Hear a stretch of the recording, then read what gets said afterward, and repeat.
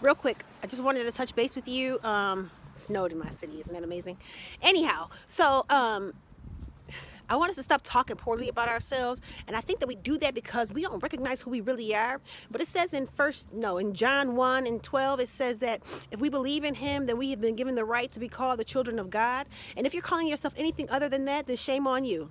If you say stuff like, oh, I can't ever get it right, or I'm fat, or I'm bloated, or I'm this, or I'm that, you are a child of God, connected to God how much better can it be? How much better can you be? If you're not a believer, then I suggest you uh, confess and go to Romans 10 and 9 and, and read the prayer of salvation so you can be a child of God. But if you are a child of God, don't dish yourself, don't slam yourself, don't slander yourself because you're connected to the most powerful, awesome being of all time, the Ancient of Days, the true and great I am.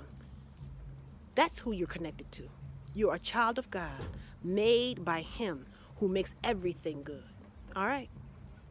they've covered.